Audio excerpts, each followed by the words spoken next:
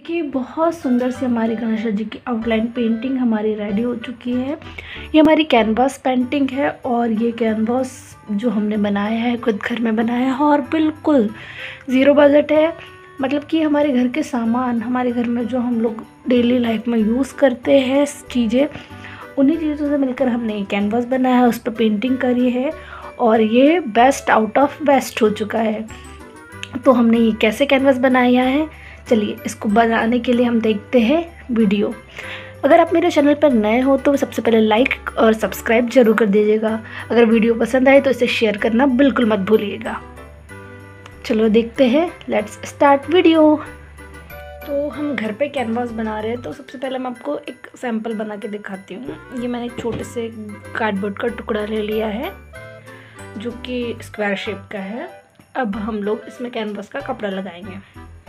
हम सभी लोग मार्केट से सामान ख़रीदते हैं तो इस टाइप की जो पॉलीथीन बैग्स है, ये हम लोगों को मिलती है। और ये जो कपड़ा वाइट कलर के फैब्रिक में अधिकतर आती है ये, और ये कपड़ा जो होता है बहुत अच्छा होता है, मज़बूत होता है। तो इसको हम इसके शेप का काटेंगे। ये जो कपड़ा है, मैंने इसके शेप का काट लिया है।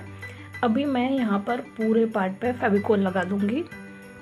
मैंने इसके पूरे एक पार्ट पर फेविकोल लगा दिया है। अब इसको मैं ब्रश की हेल्प से थोड़ा सा फैला देती हूँ।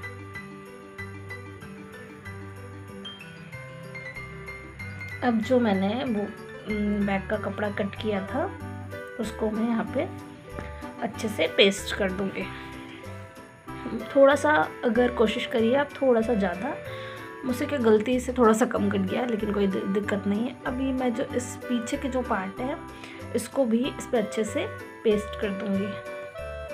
सामने से हमने इसको पेस्ट कर दिया है, अब पीछे से हम देखेंगे। अब इस पार्ट में जो है, थोड़ी सी फिनिशिंग लाने के लिए हम फिर से फेविकोल लगाते हैं और फिनिशिंग के पर्पज़ से हम इसमें चिपका देंगे एक पेज, एक पेपर कटिंग तो ये हमारा दोनों साइड से सुंदर दिखेगा।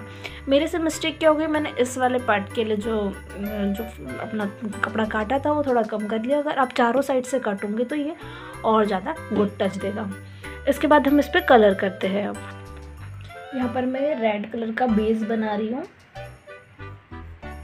देखिए, बिल्कुल इसकी फिनिशिंग वैसी ही आ रही है, जैसे हम लोग मार्केट से मार्केट से अपना कैनवास ख़रीदते हैं वैसी। इसको मैं अच्छे से ब्लेंड कर देती हूँ। देखिए, मैंने इस पर पूरा रेड कलर कर दिया है। अब इसको मैं थोड़ी देर के लिए सूखने देती हूँ।